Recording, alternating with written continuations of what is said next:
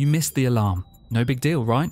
Inside, your body is sounding a code red. First, the prefrontal cortex, your command center, begins to shut down. Decision making collapses. Impulse control, gone. You're now running on pure instinct. This isn't fatigue, it's neurotoxin buildup. Your cells are swimming in waste. Simultaneously, the stress hormone cortisol is flooding your system.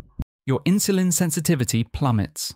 Your body handles sugar like a diabetic's. The damage extends to your immune system. You have lost your primary defense. Appetite hormones are a mess. Ghrelin shouts, eat, while leptin whispers, stop, in a dark corner.